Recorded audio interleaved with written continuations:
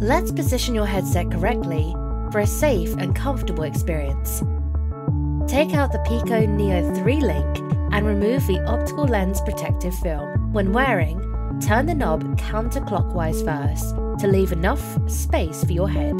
Then cover your face or glasses with the headset and cradle the base of your head with the head pad at the back.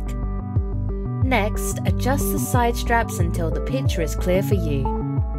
Finally, tighten the top strap by turning the knob clockwise. The Pico Neo 3 Link supports three different lens distance adjustments. The middle one should fit most people. If the picture on the screen is not clear for you, look straight into the lens. Hold the upper middle part of the lens barrel with both hands. And toggle the lenses so that both move in and out at the same time. Choose the right lens distance to reduce eye fatigue and double images.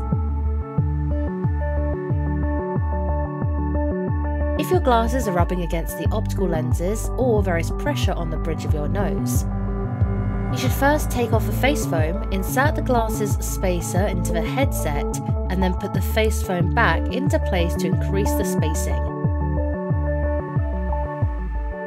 If light leaking in around the nose affects your experience, take off the face foam, place the nose pad in the nose bridge groove of the headset, and put the face foam back into place.